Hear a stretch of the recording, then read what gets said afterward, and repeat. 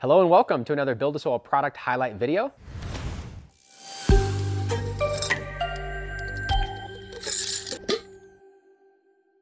Today we're gonna to be talking to you about Craft Blend. And we have a lot of educational videos. This is just a sales video where we're gonna educate you on how you might use this product. And today, like we're gonna do in all of our products, I wanna go deeper. I wanna tell you the story behind Craft Blend, how it started, why we make it, why our customers like it. And I think that if I were to share that with you, you'd feel more like I do about the product, understand why it's such good value. Behind the scenes, see what a pain in the ass it is for us to make this product because it's high quality, but it's not easy. So let's get started. Let me show you what it looks like so you have some visual on it. And arguably, these are some of the rarest, most expensive agriculture ingredients on the market. They're all organic and there's minerals and there's broken up sprouted seeds and there's crustacean meal and I'll go over the list with you. I'll read them, but there's 15 ingredients in here that are mixed. And we wanted to create a balance of NPK that had more phosphorus than potassium. In the living soil, a lot of times one of our weaker links is keeping the phosphorus levels higher. And when we add a supplement, we want it to be well-rounded and balanced. We want it to have a little bit of everything. The last thing we want to do is just add nitrogen. Like the living soil way is to be healthy. So this is more like having a protein bar or a protein smoothie that instead of having like just one ingredient has everything in there. I'm talking the mushrooms and the vitamins and the berries and like everything for your body. That's how we treat the soil. And so 15 ingredients with really good sourcing and a balance of NPK that's not one-sided creates one of our best amendments for all-purpose use. Most of our customers will use this to re-amend their soil, to top dress with, and also to make teas with. We'll talk about all of that. My favorite way to use this is to use this as my way to mimic nature. What I mean by that is nature has a lot of fertility in the mulch layer. Since we can't just put 10 years worth of nutrients into your soil and just grow back to back to back forever without having any concern for nutrition, that'd be like having a baby and just feeding it once until it's 18. It needs to be done every day. And for the busy lifestyle in organics, we've bypassed that by having larger containers and a mulch layer of steady delivery of nutrients. So what I like to do is I'll sprinkle the craft on the mulch layer of my soil, in the garden, in a container, indoors, wherever you're using it. And even if you have good soil, this will start to train it that when you water, nutrients are coming in, the worms are eating it, it's decaying underneath the mulch, and all the feeder roots of your plant reach up to the food layer where it's more abundant and they start to eat it. And what happens is as you grow a plant, you're spending nutrients out of the soil and you're adding it back through the top via the craft blend, via top dress. And that keeps this perpetual cycle going where we never overdo it, but we never deplete it. And that takes adding when we take out. In a smaller container, one might top dress multiple times during a grow. In a very large container, it's much more forgiving. You could top dress maybe heavily one time. I'm gonna read you all the ingredients and I'm gonna read you the directions for use but I wanna go deeper because directions for use are like a way to tell you how you should use it. But anytime somebody gets good at something, they can use it more than just the instructions. We're just talking organic ingredients here. So let me pull up on my phone. I'll show you what the logo looks like and I'll read the ingredients to you. So here's what the new label is gonna look like. It's available online now. It's a 352 NPK from the lab. From the top down, in order on the website, it lists them all. The Thorvin Premium Kelp Meal, and kelp meals from the ocean has the whole periodic table of elements, a lot of growth hormones in there. It's been a staple for organic agriculture for a long time. And it's only 1 15th of this recipe. A little kelp goes a long way, so that's important. Karanja cake uh, from Terviva. It's the cleanest seed meal that we can find. It improves the soil it grows in. It has a lot of sustainable benefits and it's now being grown to replace the citrus trees in Florida. It's also being grown in Hawaii to replace the sugar cane that was ripped out of there. That means we don't have to import it all the way from India just to get it. And seed meals is where you get a lot of benefit. So kelp meal, karanja cake. Karanja's, I mean, these are rare ingredients. This is part of why craft blend is so special. Alfalfa meal. We get organic alfalfa meal and it's grown organically. Alfalfa or alfalfa, I think the way the word is the etymology of the word means the father of all foods. And it's basically the kelp of the land. It is a dynamic accumulator. It's fed to animals for various reasons. In fact, when I got goats, I thought I'd just feed them alfalfa. Turns out it's so high in sapin and it's so nutrient dense that it's a very small portion that you actually feed of their diet. And I was blown away to find that. Next, we have our Build the Soil calcium phosphate. Calcium phosphate is one of those minerals that when you learn about the Albrecht method, when you learn about soil balancing, calcium and phosphorus very, very important. And a lot of times people will get these through a bone meal. One of our ingredients is a bone meal, it's fish bone meal, but bone meal out there in the industry is in all the organic products and it's approved for organic use. But bone meal is typically pig and cow and it's from non-organic farms feeding GMO Roundup sprayed crops and treating them unethically. And once their waste is piled up and they've slaughtered them, they sell the waste this way, they sell the bone meal that way, the blood meal this way. It's now considered approved for organic use and people just say, oh, it's organic. It's not organic. It came from an industry we don't want to pay for. So Calphos was a way for us to bring those elements in without selling out. On the flip side, Calphos can be dirty. It can have lots of cadmium in, um, in it. And although cadmium's not a total fear, if it starts to accumulate in large amounts with the phosphorus, it's a problem. So we source two sources of Calphos that we offer, and both of them are cleaner than anything we could find on the market. Next one, let's see, camelina meal. Camelina meal is a wild flax. And so if you know what flaxseed is, it's an oil producing seed. And the camelina meal, when we get it, still has all its oil in it. It hasn't been de-oiled and it has all the proteins from that. Part of why these, these high protein seed are animal feeds as well. And the camelina has a lot of special uses that people use it for, but we buy it and we put it into our soil because it's high protein and it's fully, it's really nutritious and it's not a GMO commonly grown grain, if that makes sense. So another seed meal. The next up is crustacean meal. Crustacean meal is a mixture of shrimp and crab meal. It's their shells, little bits of meat. It's all ground up and it's a waste from the packing facility. The reason why we're okay with stuff from the ocean, although the oceans are arguably getting dirtier, they're, they're, these aren't farmed crustacean. So we're not feeding them GMO corn like some of the farmed fish. We're not giving them an awful life. They're in the wild, hunted, so to speak. And I just feel better about that. There's a number of sources and different uh, coasts that you can buy them from. We like the product that we buy. And instead of buying just the crab or just the shrimp, we get crustacean that's mixed together and it accomplishes those goals. The reason why people usually like that is it comes with calcium carbonate, that's what makes the shell, and it's also made from chitin. And chitin is what makes the exoskeleton of crab and crustacean and also makes insects and is very, very important when it comes to gardening because it's the second most abundant substance besides cellulose. And something about this chitin that creates a plant defense response because that's what insects are made of. And so there's chemical chitins that are extracted from crustacean meal to be able to sell on the open market. We just use the crustacean meal and it provides a lot of benefits right in the soil. I'm realizing this could take a while because there's so much to know about all of our ingredients. I'm just gonna keep on going though, I think it's good. Next is fish meal. Fish meal is mostly fish and there's some bone in it, so it'll have some phosphorus in it. But the fish meal provides the meat, the protein, so it's the high nitrogen amendment. And normally in organic agriculture, a lot of people would use like chicken manure or they'd use blood meal. And so for us, fish meal was a clean way of getting high nitrogen. We're not talking farmed fish, we're talking fish that are caught out in the open, in the ocean. For instance, we get organic gemfish. They're fishing a dogfish that's a highly managed population, that's clean, deep waters. They separate out some of the stuff that they sell in another market.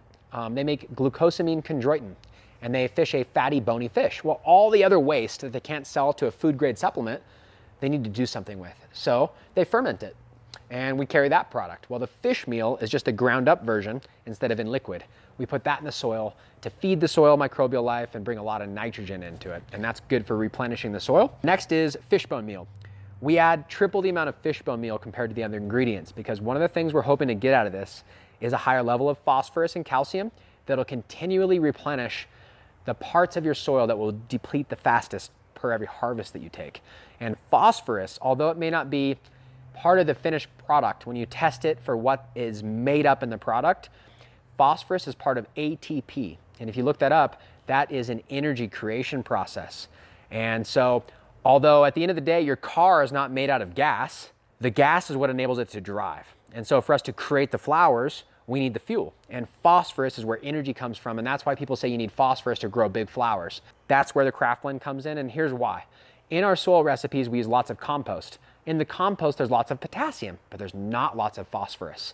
So Craft Blend helps overcome that with ingredients that we like. So let's keep going. Soybean meal. Soybean meal is very particular. We only work with very specific manufacturers that grow organically because within soybean, even arguably in the United States, if you get fully organic, non-GMO soybean, there's a chance that 0.0001%, there might be a marker in there somewhere. We live in a world where it's hard to avoid dirty substances. So we do our very best to either import it or buy it from a non-GMO, Oregon Tilth certified, like really clean source. And we offset it by not using as much of that. We use Karanja, Camelina, other seed meals instead of soy. Because when you go to the gardening store, what you're gonna find is everything that is organic, that has a high profit margin for that company that sells waste, it's soy, it's cotton, it's blood, it's bone, it's all the cheapest, worst, dirtiest organic ingredients, and we try and avoid those. But there is some good soybean meal. Those of you that have fed animals or know anything about soybean, if it weren't for the GMO side, it's an unbelievable plant with all the amino acids, everything you need to sustain life. Um, next up is Sulpomag. Some of you might know this as K-Mag or Langbeinite. All three of those are the same word. It's sulfur, it's potassium, and it's magnesium. Now here's the challenge. We don't sell much of this except from the craft blend. Main reason why is when you do a soil test, rarely do you need more sulfur, more potassium at the same time as you need more magnesium. Sometimes you need the potassium, sometimes you need the magnesium but rarely do you need all three in the balance that this product has. So a lot of times hydro growers will use it. It comes into, it's not as heavily used in organics, but in our craft blend, what it does is we're trying to balance the minerals against all the seed meals and everything. And so what we wanted to do is have a, ratio of available calcium and magnesium and sulfur really helps keep everything in flux. And so adding 1 15th into our recipe of the Sulpomag turned out to be a very important ingredient in here. Next up, organic malted barley. So we import, it's a pain in the ass to get all these ingredients in one place. We order from all these special places. The malted barley, like, it calls in animals, I swear. It smells so good and it's so full of life, so we have to really particularly take care of it. We get it from the beer brewing company. We only buy their organic malted barley. And when it gets in here, we open those bags and we put it in an ingredient just like it was a fertilizer, even though we're talking a food grade product. Next, you're gonna see Volcanic Tuff. That is Montana Grow Volcanic Tuff, and it's really high in silica. The reason why we add that is silica can help mitigate the uptake of heavy metals, has a ton of benefits from stronger plants, heavier yield, and also to fighting off pests. So most of the earth is made from rock and ground up weathered material, and that is high, high in silica. And for a long time, silica was found in all the plants, but they didn't say it was a necessary nutrient for growth like nitrogen. But if it's in every plant and they're literally eating the rocks, I think it's an extreme benefit. And the more research you do on silica, silicon, salicylic acid, it has huge implications to agriculture and it's very important. So the rock dust that we put in here has silica, but the volcanic tuff from Montana Grow that we put in here is low, low, low heavy metal, very clean, and super high in silica that's plant available. Uh, next, I've mentioned this a few times, micronized basalt. We carry a basalt that's in our potting soil that is more of a, it has little granules in it and it has the fines. I like that for soil because it has all the textures. But when I'm putting something in a top dress, I want it to have as much surface area and be as finely ground and as premium as, possible. So we get our Blue Ridge Meta Basalt from Rock Dust Local by the truckload, and we take this micronized flour of a rock dust and we put it in here. And the reason why is that's what the earth is made out of. Basalt is a volcanic material. It completely encapsulated the Grand Mesa, which has 300 lakes on it. It's like a jungle up there here locally on the western slope. So when I think of basalt, I think of abundance. And that's how nature remineralizes. Volcanic flow creates fertile soils. We take the basalt, some of the best in the country, and we put it in here to help remineralize your soil and keep it a truly living soil, not just something that's hydroponically grown. This has to be in ground up rock and dirt and compost like a real plant would grow in. Next, we have gypsum. Gypsum is one of the most important ingredients that we add. Uh, gypsum is calcium and sulfur.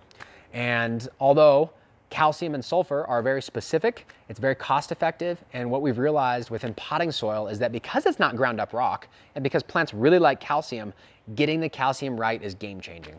It's just one of the most important things they're in. The other reason when you understand soil testing, calcium has to be the highest. What's left over is for the others. If calcium's too low, the others occupy too much space in the soil and will magnetically charge and be out of balance. So we really need to get calcium right. And sulfur helps break the magnetic bonds of other nutrients and replacing it with calcium. So in a recipe where you might have too much potassium in the compost, if you load it with gypsum and you have it right, this recipe will now work properly because calcium's now shot up higher than the potassium and now it's at least in balance where the plant can operate. I could talk all day about gypsum, but just know that gypsum, calcium, sulfur, very important ingredient. It's already in here and it's in balance. And then last but not least on the list is oyster flour, oyster shell flour. We used to use a lot more oyster shell flour. It is calcium carbonate. You can just get lime, but oysters from the oyster shell. So that comes from aragonite, that was a mineral decomposed by the ocean, and that is floating, and then the oysters grab it and then create their shell out of it, now they're calcium carbonate. So it's like purified aragonite calcium carbonate from the ocean.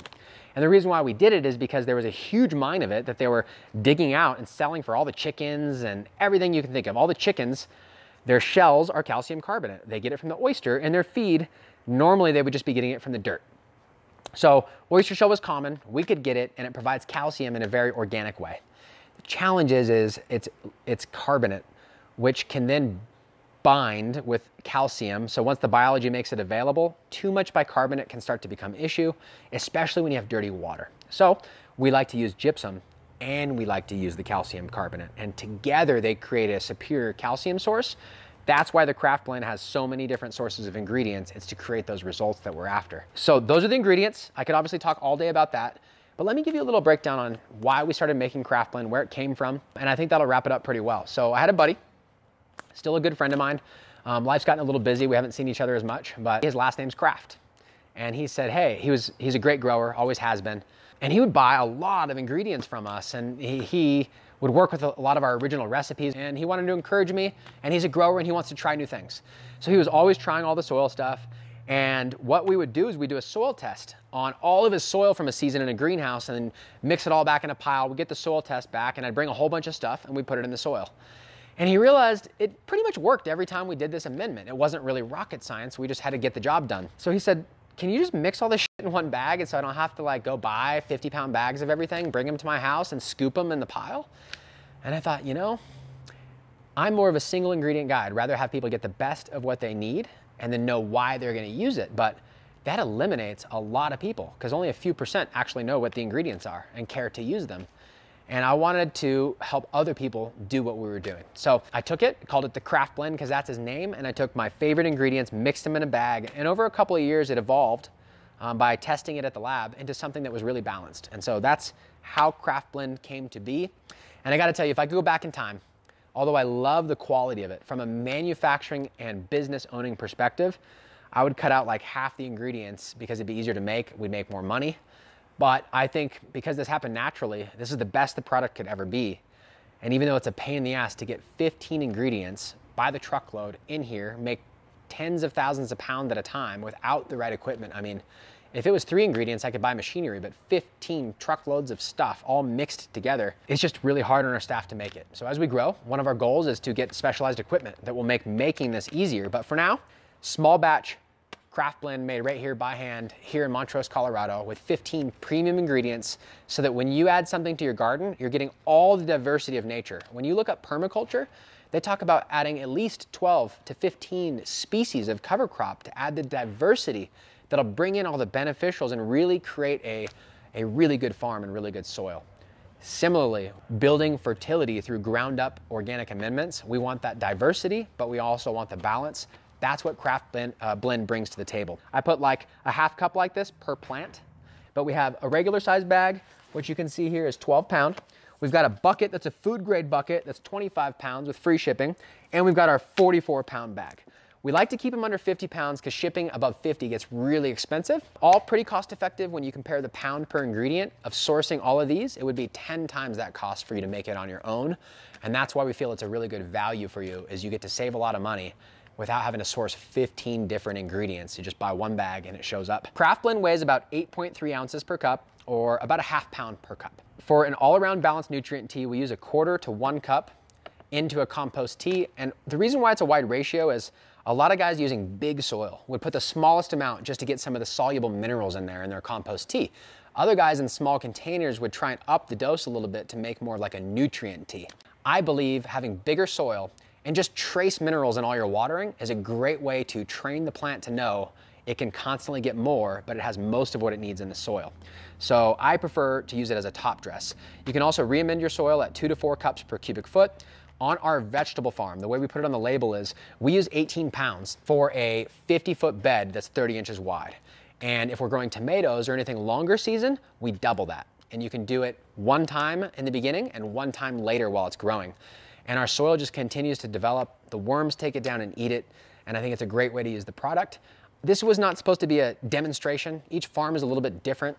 Most of the time, I follow those general directions of giving like a half cup per plant or a couple cups per cubic foot. If you have specific needs, you can reach out to our staff here.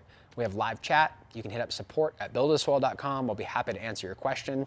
Also, we've got the instructions for use on the website, so you can just read it there.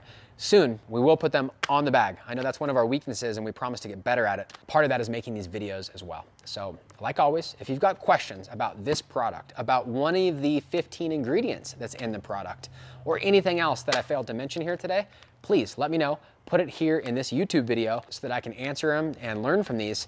And we're also gonna use these videos to put over on our website. So if somebody's really curious about a product before they buy it, they can watch the video and understand a little more deeply about our products. So I hope that helps.